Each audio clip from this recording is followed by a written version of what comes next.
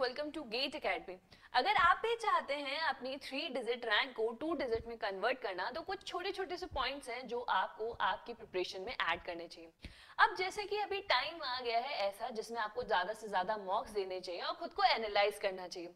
उस एनालिसिस पे आपको ये पता चलेगा कि आप कहाँ कहाँ पे मिस्टेक्स करें। तो जितनी भी मिस्टेक्स आपको करनी है या फिर आपकी हो रही है, वो सारी आपसे किसमें हो जाएगी? मॉक्स में हो जाएँगी। और ये गलतियाँ आप अपने मेन एग्ज़ाम गेट के एग्ज़ाम में करने से बच जाएँगे।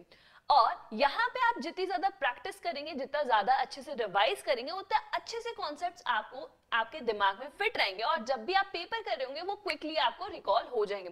कंसिस्टेंसी बनाए रखिए और प्रैक्टिस करते रहिए। यही चीज़ आपकी थ्री रैंक डिजिट रैंक को टू डिजिट में कन्वर्ट करेगी। और यही अगर आप थोड़ा सा भी पीछे हटते हैं तो यही आपकी थ्री रैंक फोर डिजिट में भी कन्वर्ट हो सकते हैं। तो अब चॉइस आपके पास है कि आप ये करना चाहते हैं कि नहीं। थैंक